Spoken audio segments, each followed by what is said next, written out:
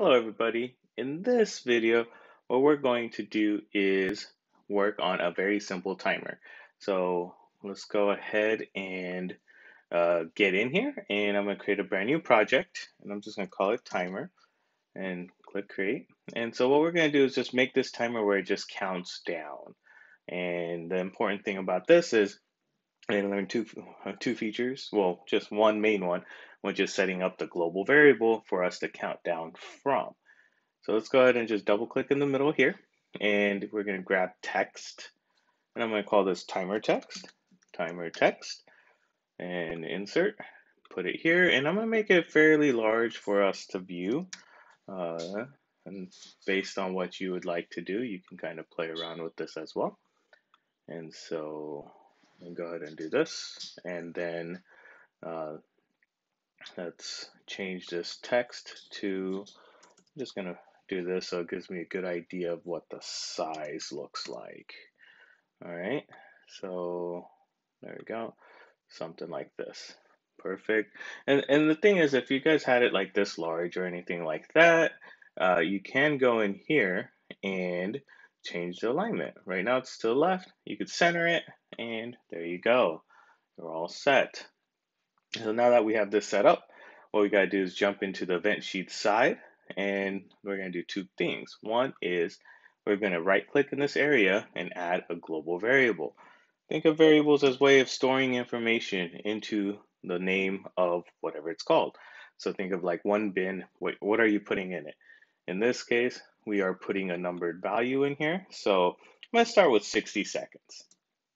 So once you do that, it's going to show up at the top, global number timer equals 60. So now that you have that, what we do is go ahead and get it to count down.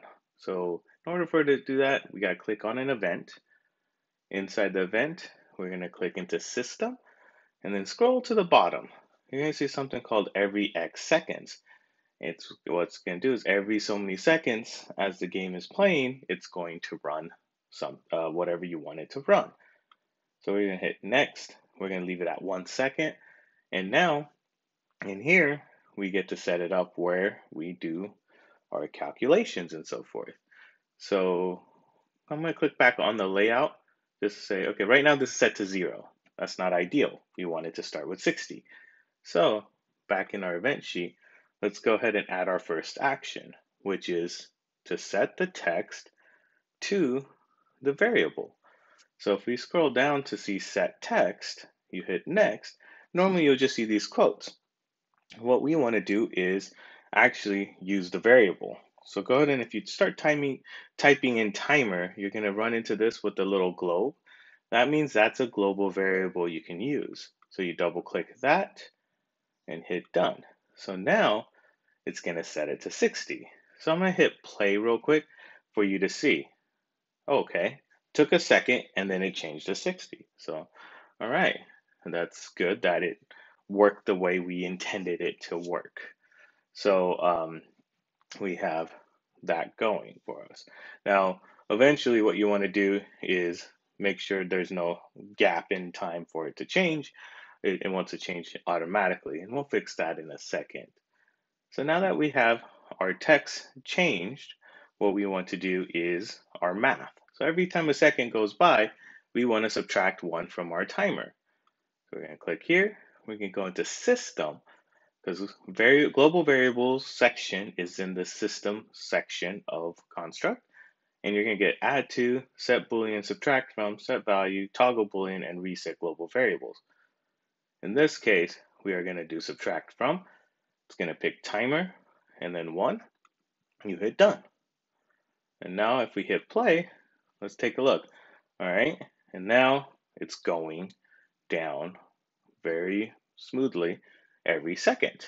So this is great for things that like if you're doing like you have certain amount of time on a level, a trivia game, all sorts of fun things like that. However, I would recommend doing one more thing before you consider this kind of complete. I'm going to create an event and go to system and we're going to just do some prep work. So there's something called on start of layout. Think of this as the initialization of whatever you need to get set up or anything like that before the game begins. So in this case, what we're going to do is I'm going to click on timer and I'm going to set the text to timer. So this will run one time at the beginning and just for order's sake, we could drag it to the top. All right, so now when I hit play, it should start with 60. You don't see it go to zero and then it took a second, but then it started, right?